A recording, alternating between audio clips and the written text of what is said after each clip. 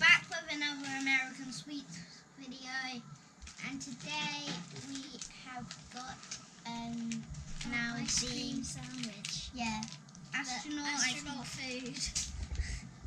Dad's filming if you want to know. That's weird. Oh, it's in a block. Oh, cool. You Guys. see the colours through the side. Oh Mm. my god, it's chocolate. Oh my god. Um, mine's cracked. Me? Oh. Sad times. Oh.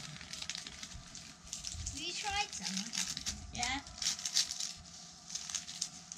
It's kind of gross. A bit. Is it just like a biscuit? You don't Yeah. know. Looks like a full one. Could I have a piece, please? Thanks.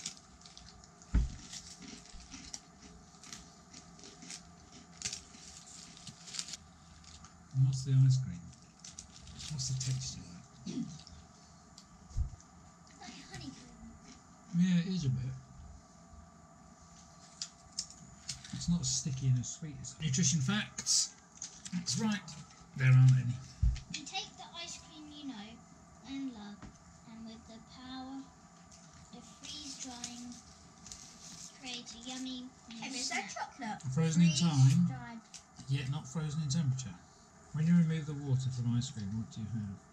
A delicious, crunchy, yet creamy sweetness that melts in your mouth. Sandwiched between two chocolatey wafer cookies. I don't know if I really like it. Oh, for God's sake, you've eaten most of it. Just rate it out of 10.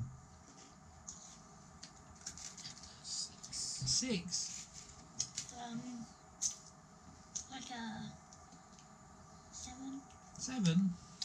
No. Would you eat it again? Would you want another one? No. But I like to wrap you on the right side piece. Amen, Jack out. Um,